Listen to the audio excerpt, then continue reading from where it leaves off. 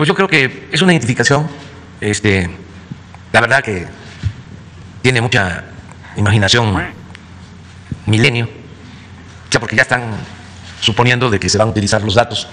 Ese es el, sentido de tu pregunta, en el fondo. Que se pueden utilizar los datos con propósitos electorales.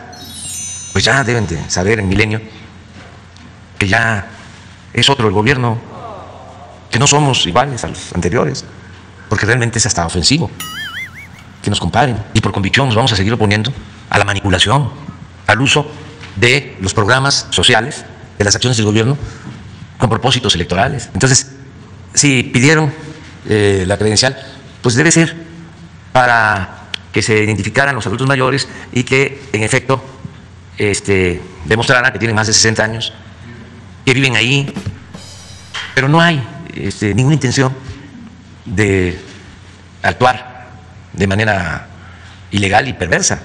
Imagínense traficar con la aplicación de las vacunas para fines electorales. Eso es lo peor.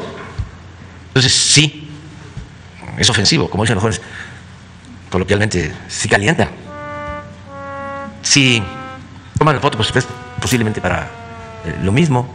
Entonces, eh, decirle a toda la gente que pues es nada más que se identifique, que tengan su credencial. Yo pensaba que nada más era el Reforma el Universal, pero que también el Milenio.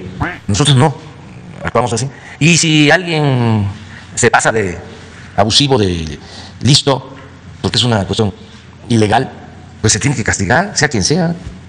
Eso ya no se tolera, no se permite.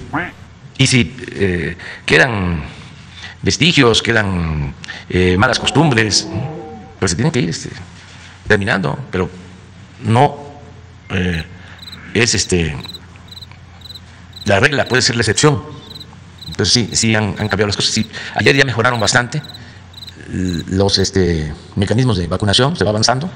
Este, el primer día hubo más desorganización, ya ayer mejoró y así va a ir pues, mejorando para seguir vacunando a los adultos mayores.